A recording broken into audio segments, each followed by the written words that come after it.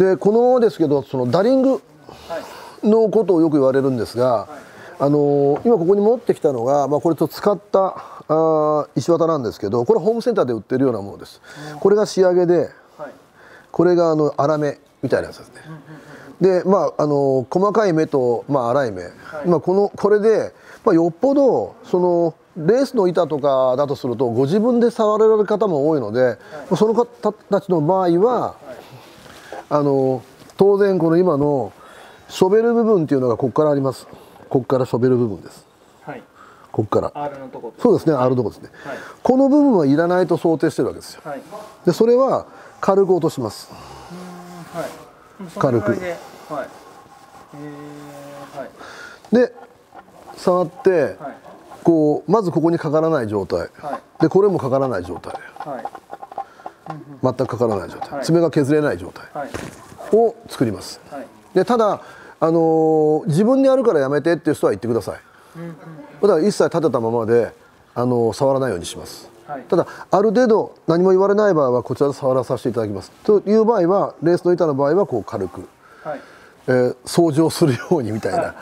であとそのどちらか初心者の方とか、はい、えー、っとフリースタイルの、まあ、あまりこうエッジを必要とされてない方にはこういったちょっと粗めの方で、全然音違いますね。はい。というのをやって確認して、はい、あ丸まってる状態を作ってそうすると、はい、あの逆にこちらの方が錆びにくいんですよね。例えばファイルで落とされる方、はい、こうやってあのショップによってもこうファイルでダリングされる方がいますけどこうやって、はいはいはい、でこれをやってしまうと、はい。相当粗く削れるので、うん、あの素材によってはステンレスじゃなくてあの金属、まあ、鉄の場合は錆びやすくなるんですね、はい、だからその錆びるっていうのはやっぱりそのまあだんだんだんだん腐っていくわけじゃないですか鉄も、はい、だからできるだけそういった錆びない状態にしてあげた方が親切かなと思います。だからそれはつるっとした方がいいですよね。ザラッとするよりもっていう感じです、だからまあとりあえずそのあとどの部分までですか？このショベル部分から。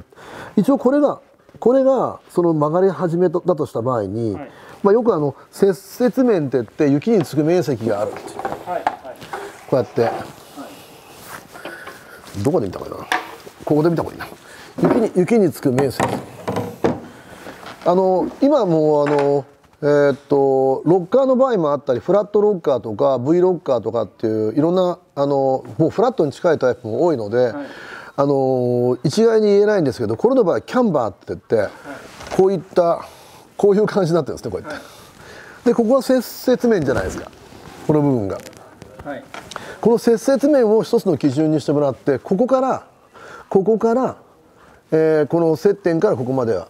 あのダリングしてもらっていいとそっち側も。はい、でこれだからこれよりこっち行ってしまえば、はい、当然ですけどこの接接面雪につく面積のところで踏んでも板が流れやすいので、はい、まああまりこうツルツルにする必要はないかなと思います。だからこれ今のショベル部分